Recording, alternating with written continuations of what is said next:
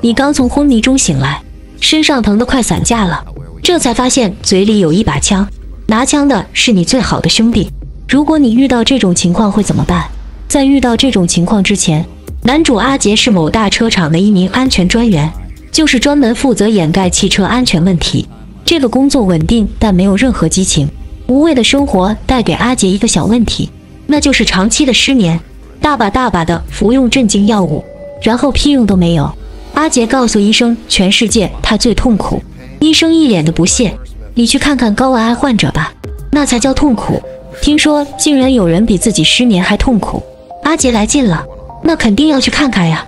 这是一个癌症患者互助小组。高危癌是啥意思呢？就是说这里的男人都不是男人了。因为癌症都一刀给切了。这个胖子名叫大豹，他不是真的胖，是服用治疗激素造成的副作用。这波涛汹涌的气势，阿杰表示很喜欢，趴在他怀里就是一顿嚎啕大哭。你猜怎么样？折磨阿杰的失眠竟然好了。所以说沉浸式体验就是厉害。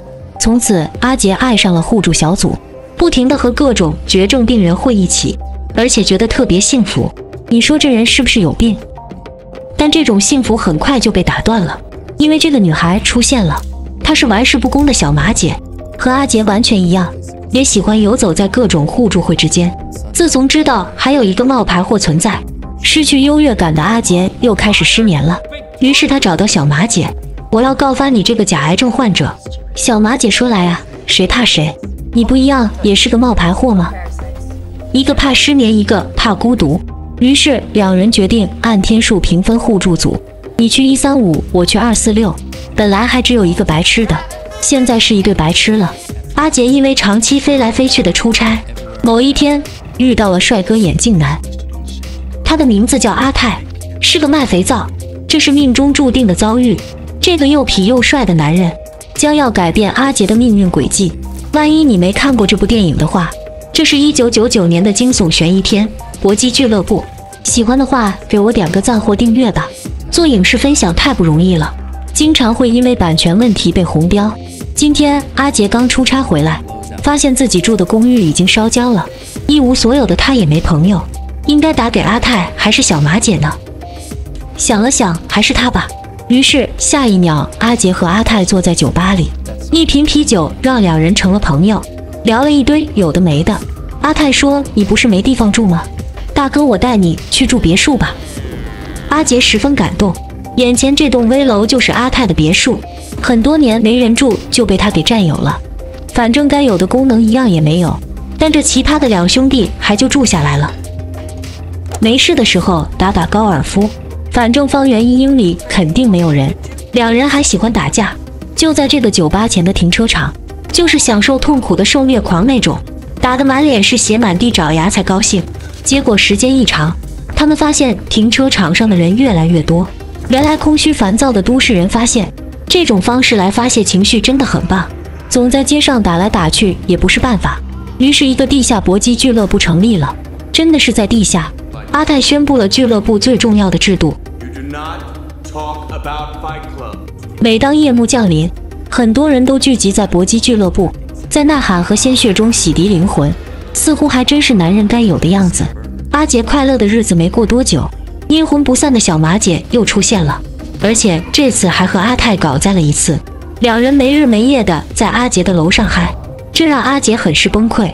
还有一件诡异的事情，阿泰专门警告阿杰，永远不许和小马姐谈论他，否则兄弟都没得做。阿杰觉得好像有点绕，反正一屋子都是神经病，你们的事我一点也不想管。这一天，阿杰遇到了阿豹，这家伙看起来气色相当不错，一问才知道他也参加了搏击俱乐部。不知不觉之间，这个地下组织已经越来越有名了。随着俱乐部名气的增长，阿杰开始频繁的旷工，要想个办法不干活也能拿钱才行。反正这个工作做的也都是缺德事，不断掩盖汽车的安全问题。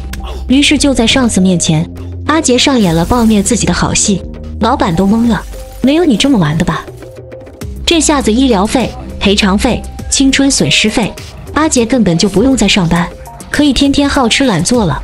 可是很快他就发现，阿泰的行为越来越难以理解，而俱乐部也越来越像黑社会。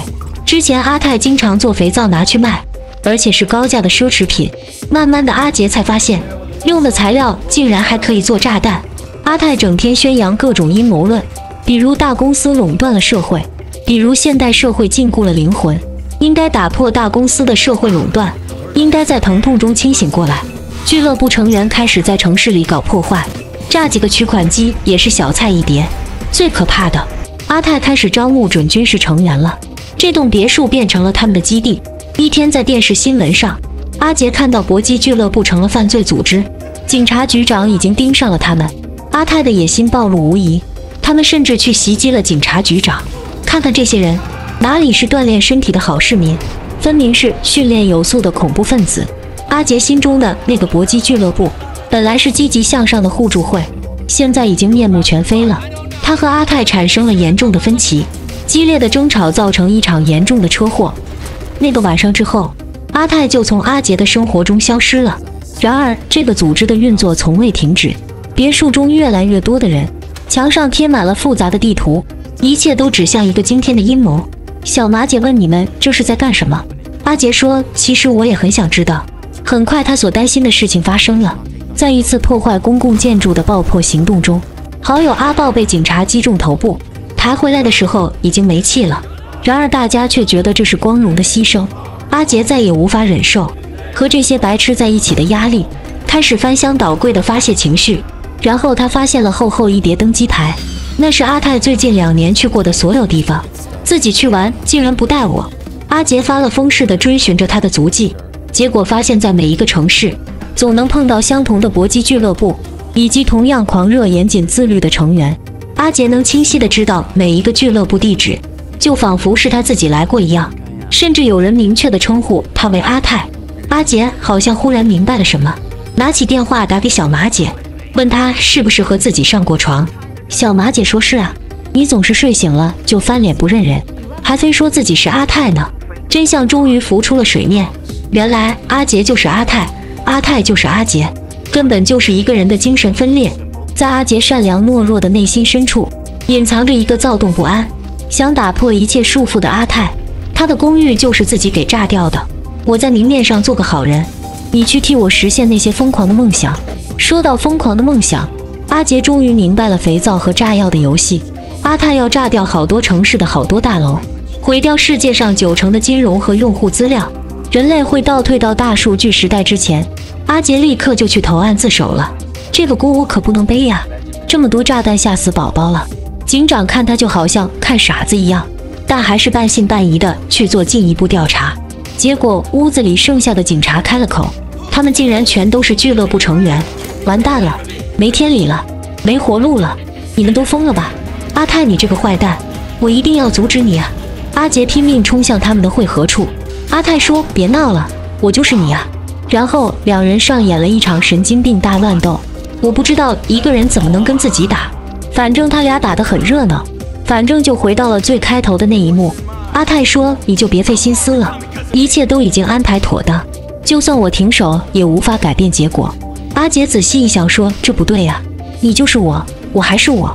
你手里的枪其实就在我手里，我打死了自己，也就打死了你。”阿泰，你说对不对？这确实是问题的关键点。然后又帅又聪明的阿泰就死了。这时候，一帮手下带着小马姐赶来。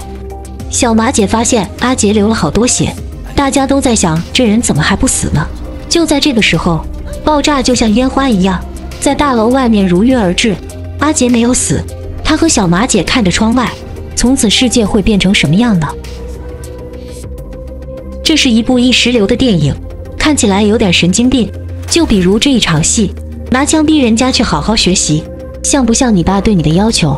这是一个关于自我拯救的故事，一个被社会固化了思维的人，一个精致的利己主义小资青年，一个为大公司掩盖罪恶的小人物，一个充满焦虑想要改变现状的天才，他自己不敢改变，于是分裂出另一个勇敢叛逆的人格，然后选择了一种极端的方式。为自己建立起宗教化的组织，这是一部值得细细品味的电影，你一定要抽时间去观赏一下，也许你会有完全不同的解读。欢迎在留言区和我分享。好了，今天的影片讲完了，如果喜欢，请关注动影频道。我会带给你更多的影视分享。我们下次再见。